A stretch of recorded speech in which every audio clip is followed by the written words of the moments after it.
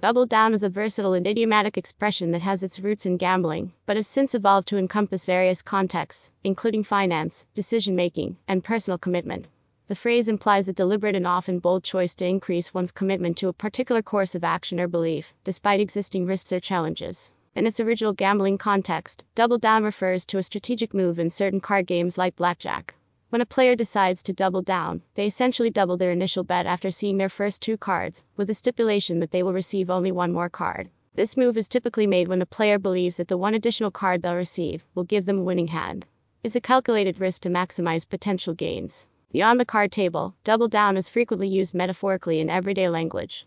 For instance, in the world of finance and investment, it describes a situation where an individual or organization decides to increase their investment in a particular asset or venture, even when faced with uncertainty or adversity. This decision often reflects a strong belief that the investment will eventually pay off, despite the immediate challenges. In decision making, doubling down can signify a commitment to a particular choice or strategy, even when it appears to be failing. This can result from a belief in the long term viability of the decision or a determination to prove its worth, even in the face of setbacks. It can be seen as a determination to persevere and prove oneself right. In personal and interpersonal contexts, double down can relate to one's unwavering commitment to a belief, opinion, or course of action.